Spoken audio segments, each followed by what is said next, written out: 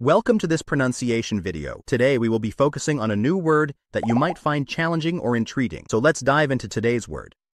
Petition, which means a formal written request, typically one signed by many people, to authority. Let's say it all together. Petition. Petition. Petition. One more time. Petition. Petition.